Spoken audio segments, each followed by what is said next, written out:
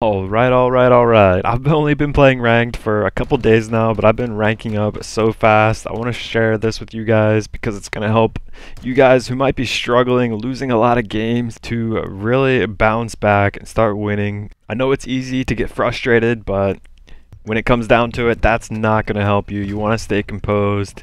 And with these principles I'm about to share with you, you're going to be able to do that. Especially if you're solo, like I was here. I don't want to be commentating the whole time. I just want to let you guys see how this works and how you win games. I'll definitely be commentating on things that I feel like I need to point out. But yeah, watch and learn, and if you let it, it'll make you a better player.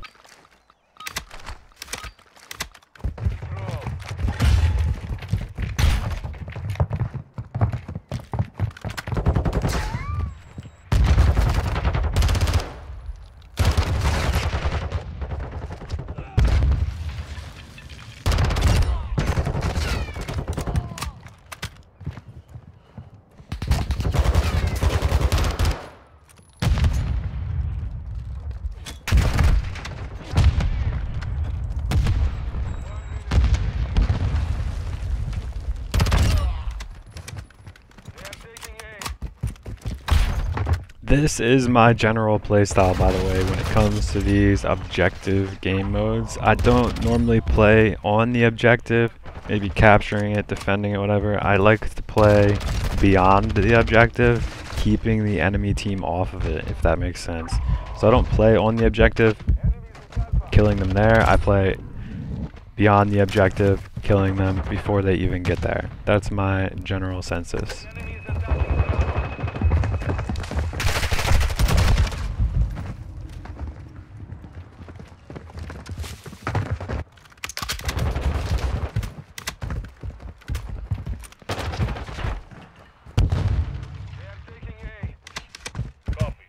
I really like the precision airstrikes over the missiles. I feel like the missiles get destroyed by the trophy systems a lot, so I'm definitely using precision airstrikes from now on.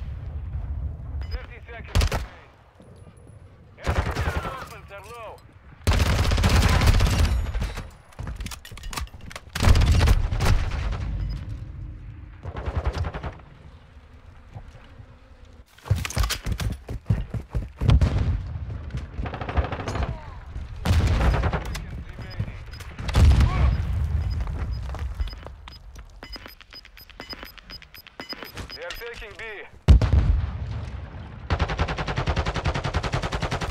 Taking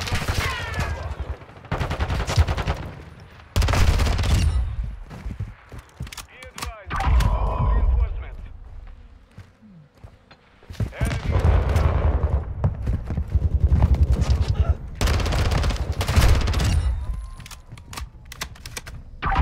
I was doing good this game. I was doing really good, but I made a fatal mistake right here. Really lost my 1v1. If I would have got that guy, then he can't capture A and we win the game right there. And that's crucial because in a competitive game, that'll cause you to lose the entire game, you know? So you really have to take advantage of every play you can make.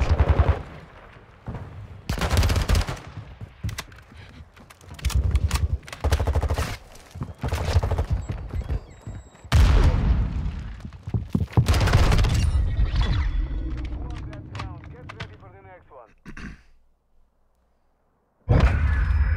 We got him on lives here. Ultimately, that's one of the best things you can do. Just make them run out of lives in this game mode.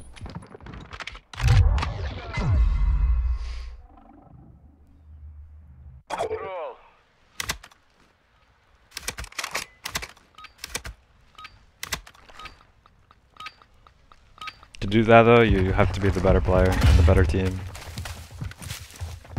You can't die. That's as simple as that.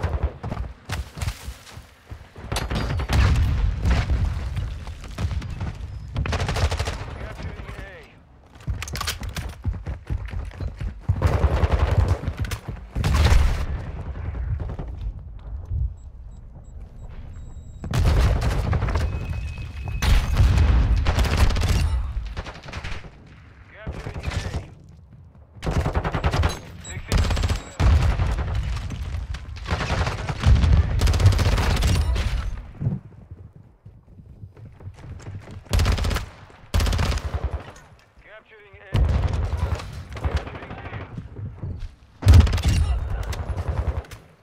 Capturing A. Taking When it comes to using Dead Silence or a trophy system, I normally go with Dead Silence because I feel like I'm kind of that type of player that is moving, that's kind of getting kills, you know what I mean? And Dead Silence is going to help me more when I'm moving around doing that. If you're using a trophy system, mainly you're going to be playing objective, right? You need that trophy system to save you from grenades and stuff. So it's really just based off your playstyle. A secure. You are running low on reinforcements.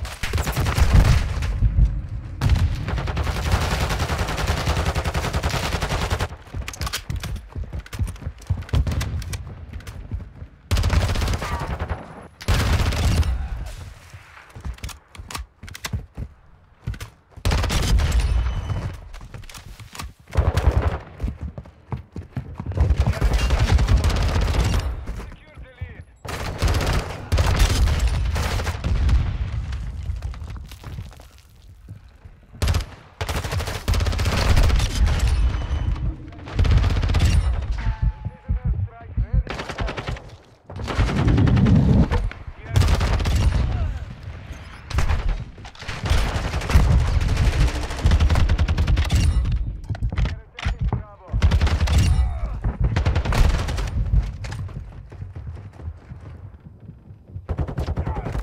Capturing B. We are engaging Bravo. Reinforcement. Attacking Bravo. Copy that. Phoenix 2-3 is on station. Strike inbound.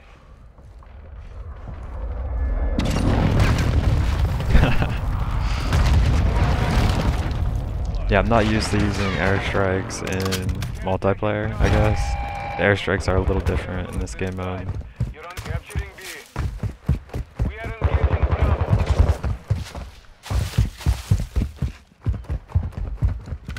Capturing B. Attacking Bravo. Victory secure. Be ready to win again.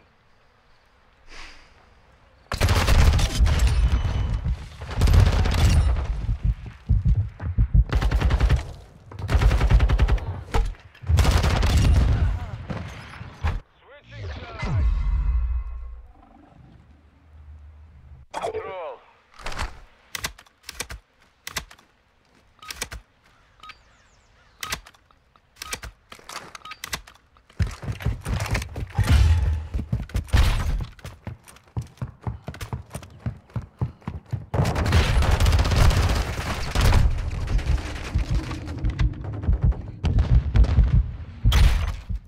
They are taking B.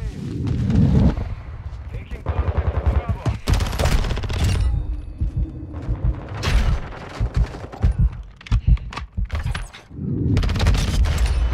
Like I said earlier, in this game mode, you have only have a certain amount of lives, so if you can make them waste their lives, it's really a great way to win this game mode.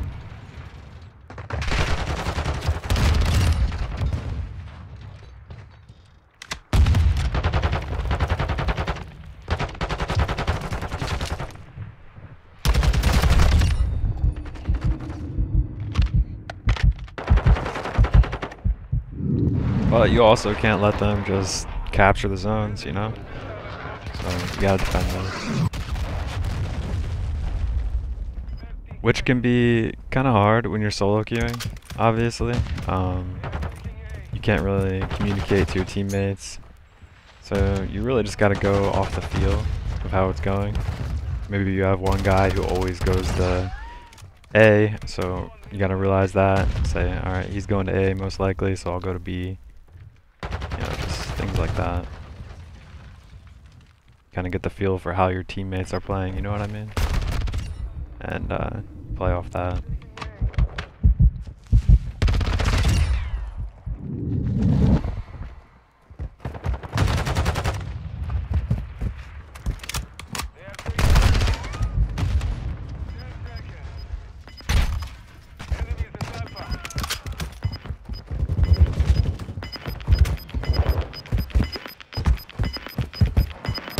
That was uh, I don't want to say easy game. I mean, we, we worked hard for that game, for a good win. But being one of the lowest ranks, came out on the very top of the leaderboard, which is impressive. When you have good games like that, sometimes you'll have a player like this join your lobby. They want to play with you. Hello? But, you know, you really got to be careful who you play with, and I didn't know who this was, so. Sorry, I play alone. This is game two.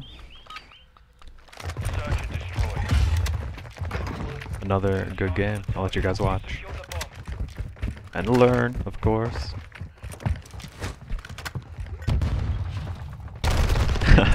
Maybe you're learning what not to do. Definitely, for the rest of this game, I respected that angle and I was careful peeking that corner, and I don't think I ever died there again. Instead, I got kills there. So definitely learn from your mistakes and don't get mad, don't get frustrated and start cussing. Learn from your mistakes and move on and you're gonna get better guys. Search and destroy.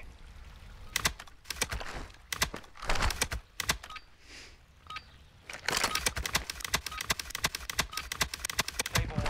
Check security on the objectives.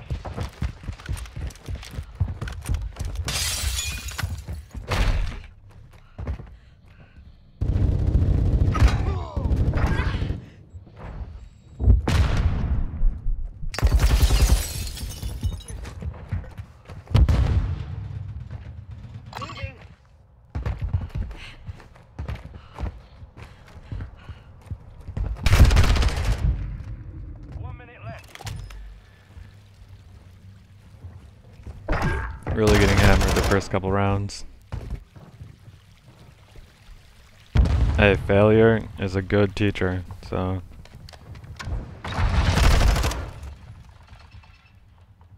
my teammates clutched up, love of that.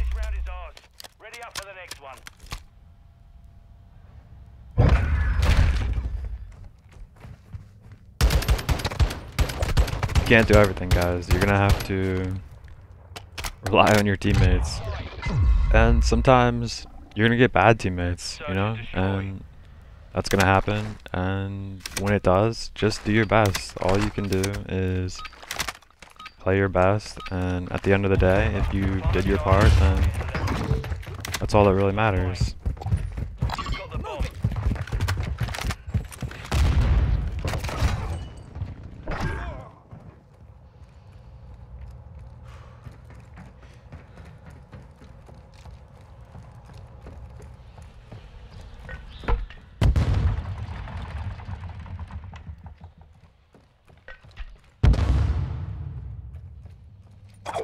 Final minute.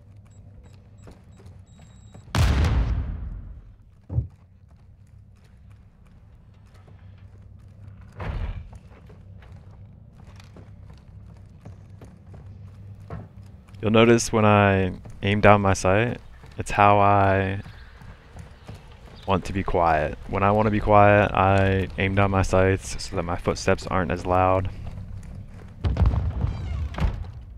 30 seconds remain.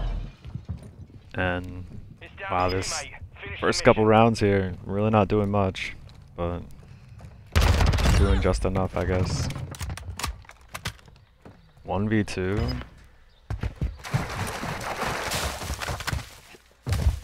seconds remaining. Ah, yeah, I'm still a little new to this, so I didn't realize, you know, I was thinking maybe when I start planning the bomb, the timer won't run out. But yeah, I'm still learning too, guys.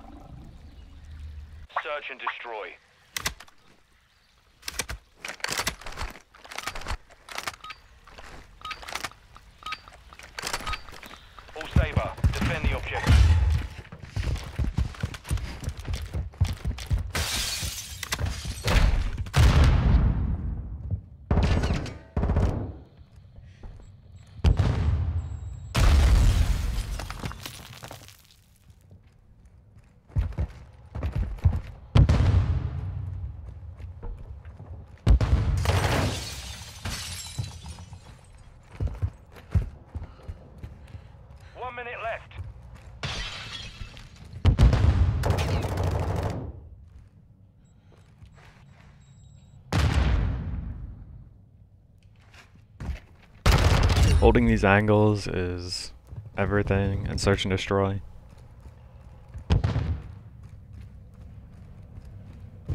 When you're defending the objective, you have the ability to hold the angles because they have to go to a bomb and plant it, or else the time will expire and you win.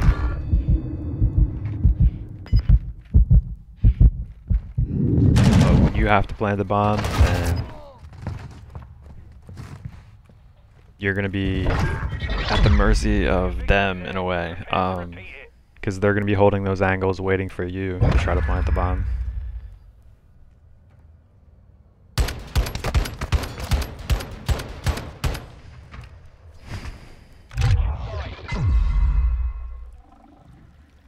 Search and destroy.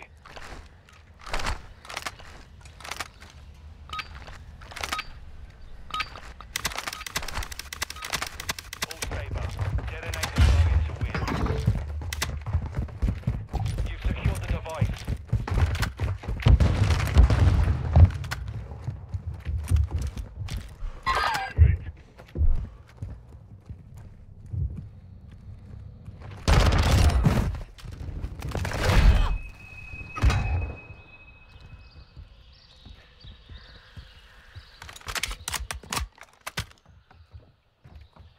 Final minute.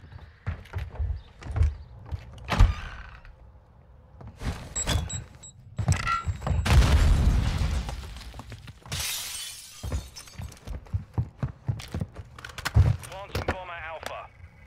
Planting a bomb is good. Definitely do that whenever you can. It's gonna give you points, which can count towards your kill streaks and stuff like that. Even if it's not necessary, maybe you got a really good round and there's only one guy left on the enemy team. Just plant the bomb real quick anyway. For some more points.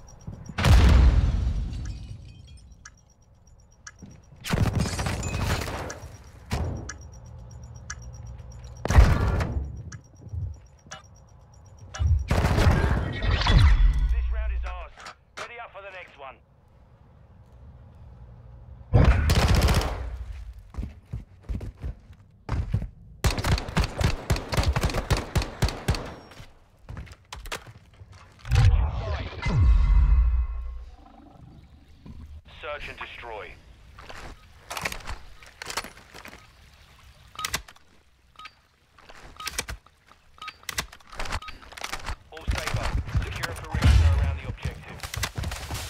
My teammates obviously did fantastic this game. This isn't a game that required me to do anything spectacular necessarily. You'll see that I did clutch up a couple times later rounds, but you know, my team did great. So you gotta love it. One minute left.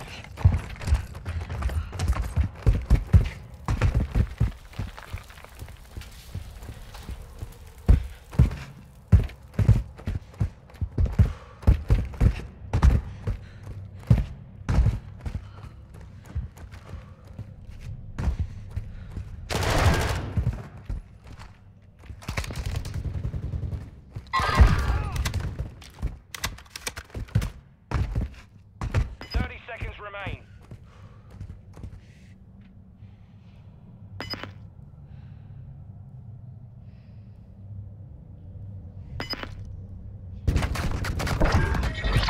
We took a victory there. Prepare to repeat it.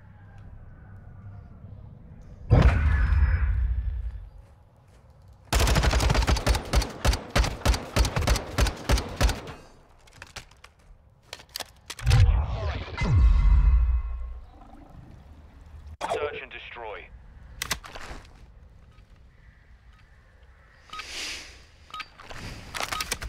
I know some people like to use a knife because it makes them a little faster, but I have a problem when I use a knife. I tend to not be able to put it away fast enough and I'll accidentally swing with it just because it's like there's a delay or something. I don't know what it is. But when I when I have a pistol, I just don't have that delay. I know I can't run as fast, so that sucks, but the delay gets me killed. Too often, so I'd rather just have a pistol. And for underwater, that pistol's kind of cool, so. Definitely clutched up with a pistol a couple times when I run out of ammo.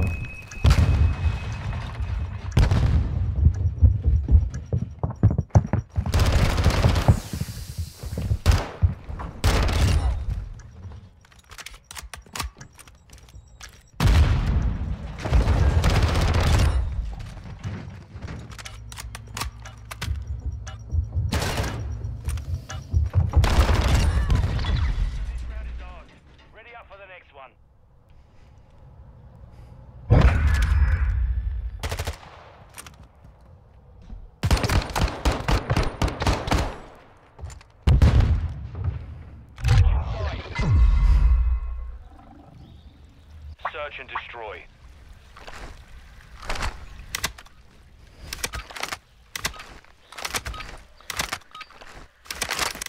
All saber. Defend the objective.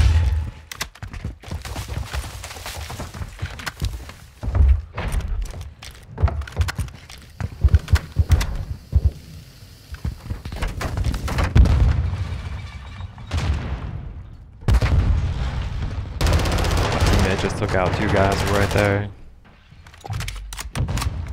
Good stuff for him. I was kind of distracting one of them at least. And they weren't really looking at him. They looking at me. Final minute. So he did a really good job coming up behind him right there, getting the drop on him. Now it's a 1v1. And at first I'm gonna go look for this guy, but then I remember, wait, my teammate took out two guys back here. They probably had the bomb. So let me go wait over here. Because they probably have the bomb over here, and he's gonna come and get it. And sure enough,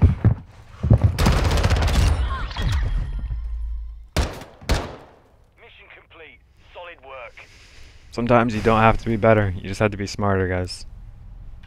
Not that you don't want to be better. Obviously, you want to be better, but